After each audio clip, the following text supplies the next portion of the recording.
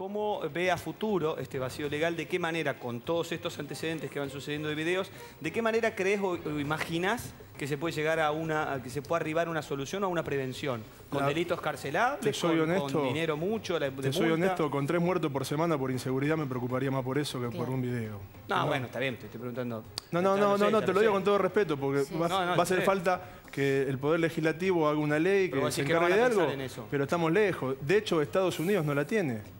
No la tiene. Eh, en la Fundación Pierri, que eh, se maneja con un servidor, Sí. la información, no sabes dónde tiene el servidor, porque el servidor está en el aire. Y yo, por ejemplo, te organizo un secuestro extorsivo como hacen las bandas organizadas de acá. Acá el último secuestro que participé yo, el tipo había armado un servidor que estaba operando desde Uruguay. Y el, el juez argentino, hasta que mandaba los Claro. oficios, que el informe todo, ya se había cobrado el Entonces, rescate. ¿qué hace? O sea, la, famo- la famosa que, que le sale un video tiene que quedarse sentada esperando Una- y que una el resto acción la de amparo, Digo, una- porque no hay claro. como demasiado para hacer, no hay una, nada. acción, una acción de amparo, pedirle a YouTube que lo baje, YouTube lo va a bajar con el nombre Moni Argento, después lo va a subir, como dice él, Como con otro Sarasa. nombre, y vos te seguís viendo en la televisión hasta que se canse el hacker y te lo saque. De hecho, Ahora, ya, doctor. ya hay en videoclub que venden el video de Florencia. Es un papelón. Sí. Venden el Jóvenes, video. totalmente.